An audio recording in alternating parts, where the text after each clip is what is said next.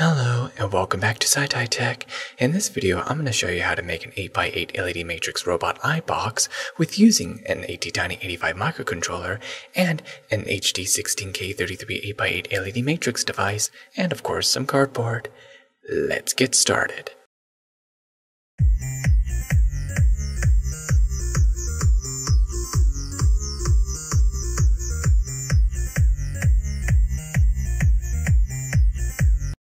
These are the items you're going to need to make for this project. The items you're going to need an ATtiny85 microcontroller, an 8 pin IC socket holder, a slide switch, a 3 volt button cell battery, a 3 volt button cell battery holder, a perf board, and two HT16K33 8x8 LED matrix, some cardboard, and some wires. And this right here is a schematic that you're going to need to follow to make for this project. Now let's go ahead and assemble this project and let's get started. First, I want to trace around the size of these 8x8 LED matrix so that way I can be able to make the two eyes of this robot. So far, I measured out the size of the face of the robot. And now I need to find the center of the eyes. Simply make an X, and the center of the X will be the center of the eyes. And now take a measurement of the LEDs, looking at the exact size, so that way I can be able to make a proper square that is equal size of these LED matrix.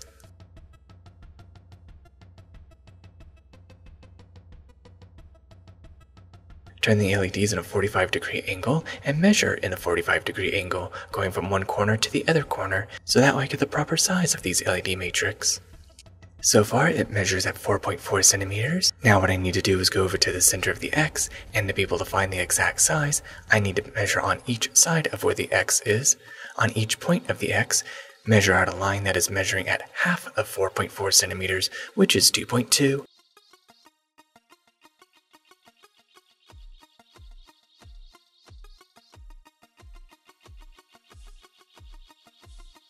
Now I made all four of the measurements, now I can be able to create the square. Make the lines going across, which means now the LED matrix can fit inside perfectly. As you can see, putting it right here, it fits perfectly. And of course when I cut it, it will make it even smaller, so that way I can be able to fit it even better. There's also another technique. You can always simply take the LED matrix, put it in the very center of the X, and make a line going across on both sides.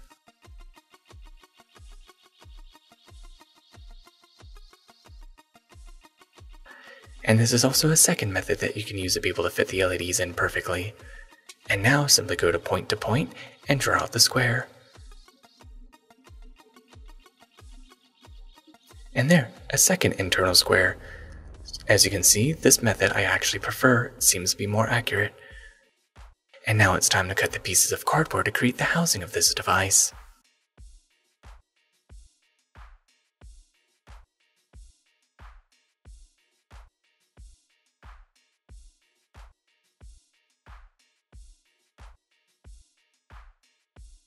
And there, now I have all of the pieces that I need for the housing.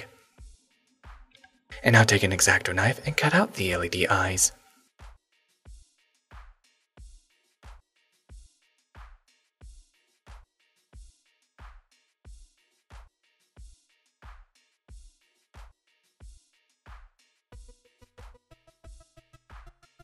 And there, now I have both eye holes cut out. The first one I did isn't very good, but the second one I feel like it's a lot better.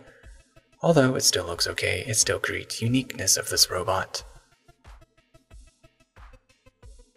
Now another option, I could have just simply cut it out the exact size of the LED matrix and stick out the LED matrix all the way through, but I think putting it inside of it, in my opinion, looks a lot better. And now it's time to connect the bottom piece of this housing. And what I need to do is figure out the position of where I need to place the circuit, trying to figure out where I want to put the 3 volt button cell battery holder, and I feel like placing it right here looks like a good spot. Placing it right here in the center is a very good idea. Simply trace the 3 volt button cell battery holder.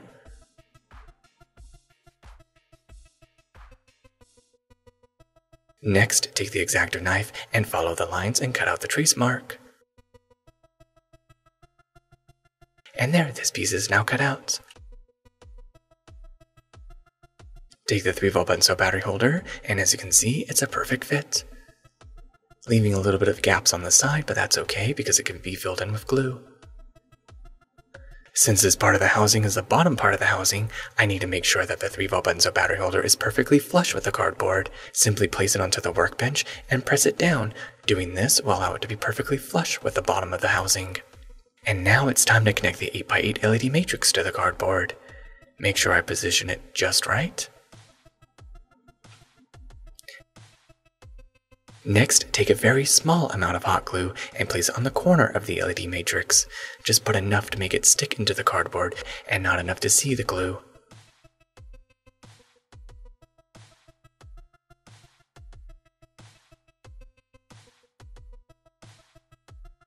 And there, as you can see, it sticks in place. Now take some more hot glue so that way it stays in place permanently.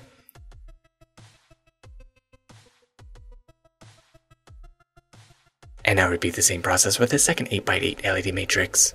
And there it should look just like this when complete.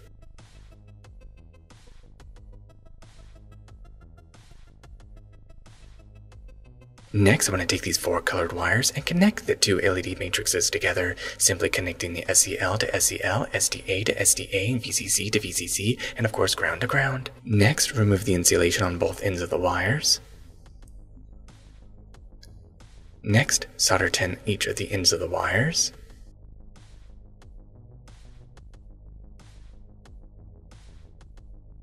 And now it's time to connect the SCL to SCL. Simply solder it into place, just like this. Sometimes a little extra solder is needed. And now SDA is soldered to the SDA. VCC is soldered to the VCC. And of course, ground is soldered to ground. And there, the two 8x8 LED matrix is now connected. Next, take the perf board and the 8-pin IC socket holder. I want to solder in only one pin first to make sure it's flush with the board, and then solder the rest of the pins after that. Clamp it down, solder in one pin. Check to see if it's flush with the board, and it is, which means now I can solder the rest of the pins in place. Next, take the 3 volt button cell battery holder, place it onto the perf board.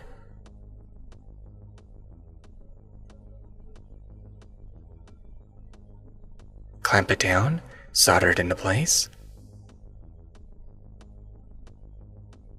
Next, take the slide switch and solder tin the two pins.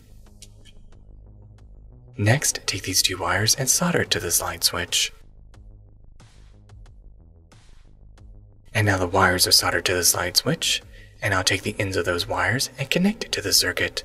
I want to connect one wire over to pin 8 and the second wire over to the positive terminal of the 3 volt button cell battery holder. One wire to the positive terminal of the 3 volt button cell battery holder, second wire over to the pin 8 of the IC socket holder. Next, I'm going to take these four colored wires, and this will connect to the ATtiny85, and then the opposite end will connect to the 8x8 LED matrix, so that way I could be able to connect the circuit together.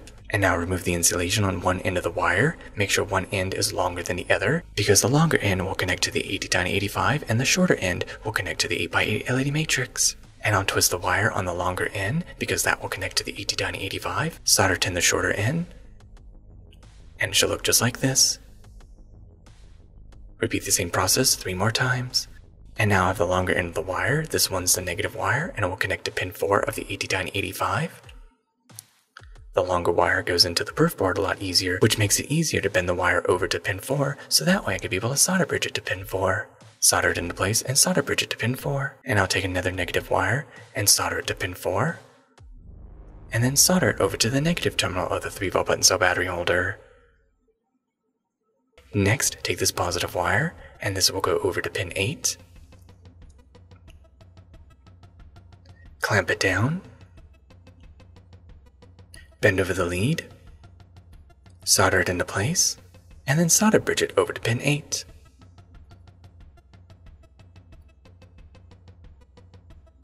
And there should look just like this.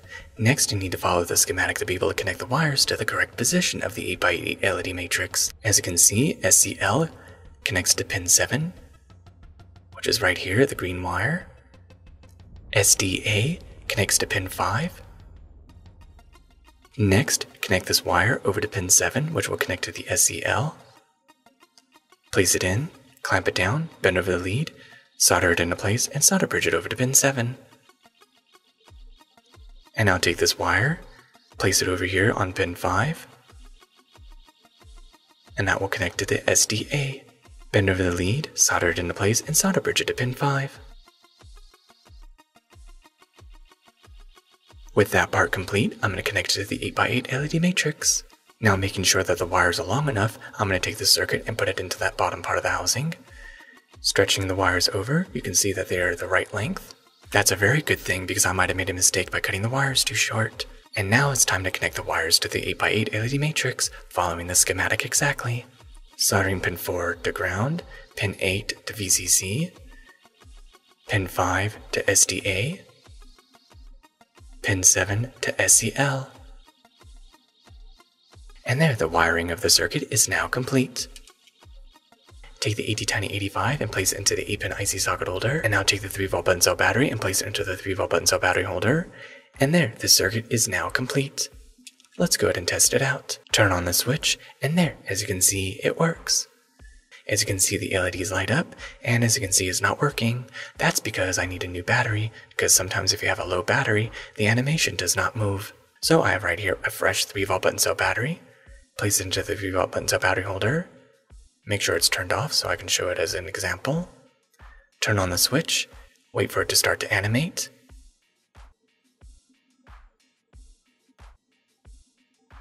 And there, as you can see, it works. And you can see that it is moving a little slow. That's because of the way the program is. So if I could figure out how to make the code move a little faster, that would be very useful. But so far, this is actually satisfying enough. Next, assemble the rest of the housing together, starting first with the bottom piece of the housing.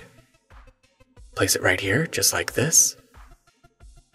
Take some hot glue, put a line of hot glue on the bottom of the housing and then glue this piece into place.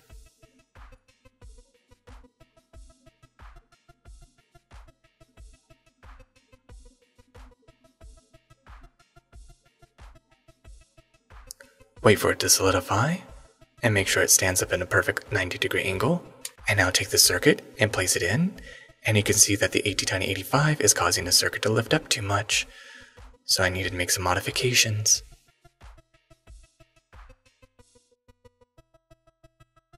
As you can see, I made a small mistake with the housing. I accidentally put it in backwards, but that's okay, it's an easy fix. Simply cut out that little notch so it fits in better. And now take a marker and mark where the ATtiny85 needs to be, and then cut out where the ATtiny85 needs to be, so that way it fits into the bottom part of the housing better. Doing this with the bottom part of the housing allows me to have the ATtiny85 exposed, which makes it easier if ever I want to reprogram it to be able to do a different type of animation. And, of course, with the 3 volt button cell battery exposed as well, I can easily change the battery if ever I want to. Carefully take the circuit and place it into the housing. Make sure the bottom part of the housing is flush with the 3 volt button cell battery, so that way it stands up perfectly. And now glue it into place so it stays in the same position. Put a generous amount of glue going all the way around.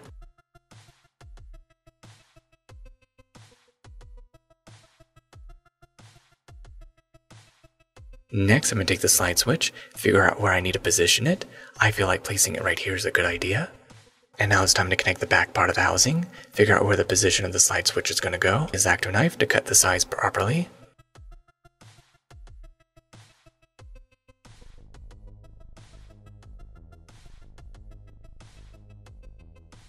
Next, take a generous amount of hot glue and place it on the bottom part of the housing, and I'll take the back panel of the housing, glue it into place.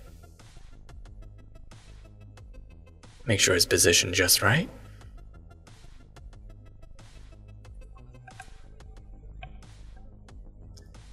I have some excess glue, but that's okay, simple cleanup. Place some more hot glue inside, so that way it gives it extra support. Make sure it stays in a perfect 90 degree angle, Wait for it to solidify. And there, she'll look just like this. And now take the slide switch and place it inside of the hole. Put it in position. Take some more hot glue and glue it into place. Put a little bit here and a little bit there.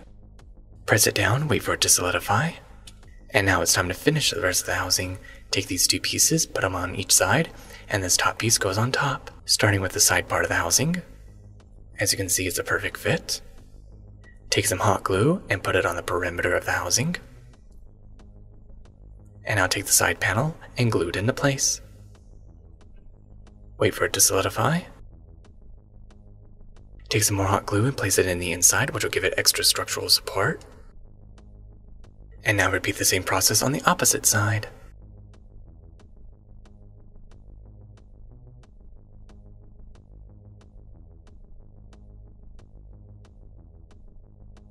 Next, take some more hot glue and put it on the perimeter of the top part of the housing. Take the top panel, glue it into place, wait for it to solidify, and there, the project is now complete. As I said earlier, I have easy access to the ATtiny85. If I ever want to reprogram it, I just simply pull it out. And of course, I have access to the 3V button cell battery, and I can be able to change the battery whenever I need to. Turn on the switch and test it out. And there, as you can see, it works. And I can easily turn it on and off. Now see how this looks in the dark. Ah, as you can see, this looks amazing in the dark. Wait for it to do its animation, and there, it's starting to blink. And as you can see, this works very well. Also looks very good in this position as well. And there you have it. Now you know how to make your very own 8x8 LED Matrix Robot Eye box with using an ATtiny85 microcontroller and an HT 16K33 8x8 LED Matrix. Thank you for watching SciTyeTech. I hope you learned something new, and don't forget to like, share, and subscribe, and of course click on the bell icon to be notified of future SciTyeTech videos. To the next tech, goodbye.